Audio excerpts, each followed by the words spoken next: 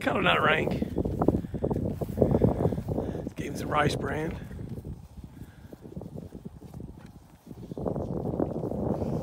Woo! The one crossbred got across these, obviously, uh, from across the fence. One of young Matt Mills' heifers.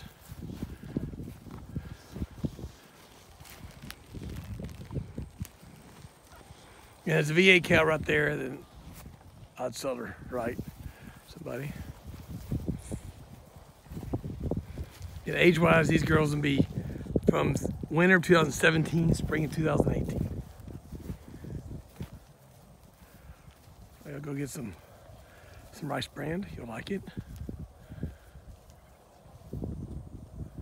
Nice group of heifers. I'll make a hell of a set of cows. Again, I, I I these bulls out when they were full two, so they're not.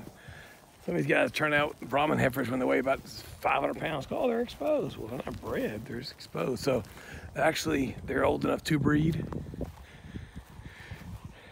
I got a an Angus bull from Jason Lesker running with him. He's been a little nice heifer bull for me. Really freaky. Doesn't care what breed; he'll breed them all kind of pretty damn gentle, aren't they? They're in 17 head. Old rice bran and pretty damn gentle. Woo! Make a hell of a set of cows. Again, phase, I think it's the 21st maybe, of April. But still during the quarantine, we were locked down. Again, she's a she's a crossbred and she's a V8 cow.